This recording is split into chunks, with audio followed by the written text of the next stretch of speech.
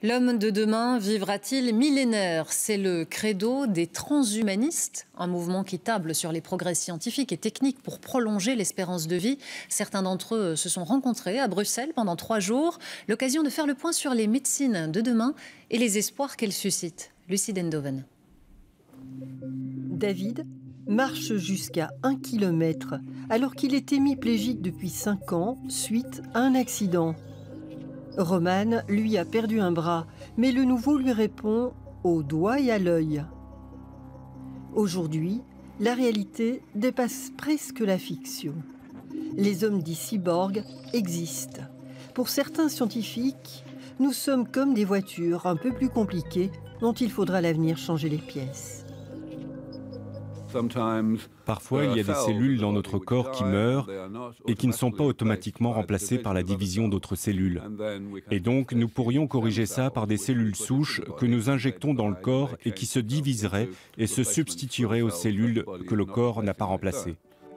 Ça s'appelle la thérapie cellulaire. Les cellules souches injectées se multiplient et remplacent tout simplement les cellules malades de notre corps. Elle soigne le foie, le cœur, les genoux.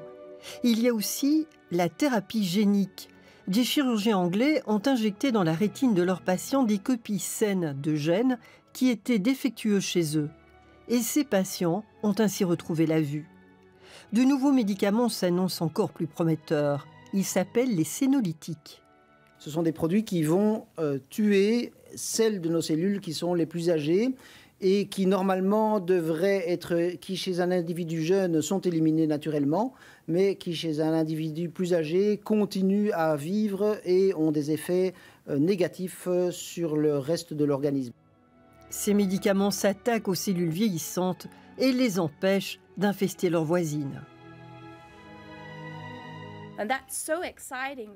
C'est très excitant parce que si ça marchait sur les humains et si nous pouvions éliminer ces cellules vieillissantes, nous ne réduirions pas seulement le vieillissement et la vitesse de son processus, mais nous pourrions guérir beaucoup de maladies.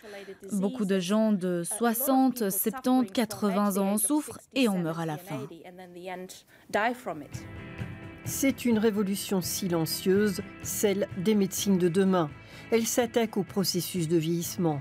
Or, aujourd'hui, 9 personnes sur 10 en Belgique meurent de vieillesse.